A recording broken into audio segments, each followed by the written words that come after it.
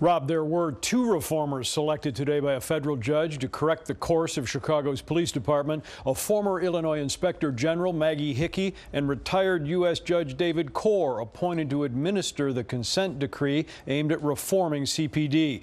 Both of them first identified yesterday by the I team as the two finalists for the job. That both were selected tonight being hailed by those on differing sides of the discussion. Over 100 years, there's been six other attempts to do reform. This one, in my view, will stand the test of time. And the official reform clock is just starting today here at police headquarters with this consent decree put in force and former Assistant U.S. Attorney Maggie Hickey put in charge of monitoring court ordered reforms at CPD.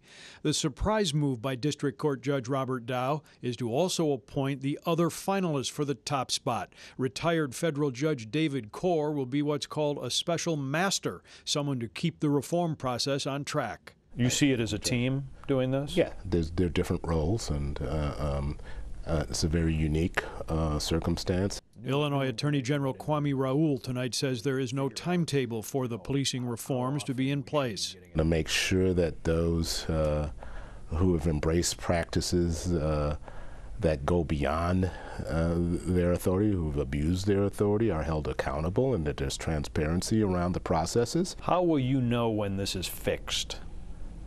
Uh, that's a difficult uh, question to answer. And I, in part, it's a difficult question to answer because everything law enforcement reform does not happen under the umbrella of the uh, consent decree. The Attorney General took city officials to court in 2017 to force police department reformation, even though today Police Superintendent Eddie Johnson said changes were being made anyway. We started implementing these reforms, the mayor and I, two years ago, so you're not going to see many fundamental changes uh, on the streets of Chicago, but what you will see is a more professional and dedicated police department.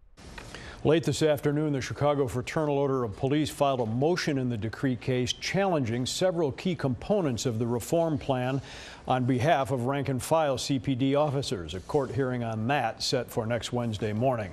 Police union has had problems with this from the get-go. Hey, if you like that video, be sure to subscribe to our ABC7 Chicago YouTube channel.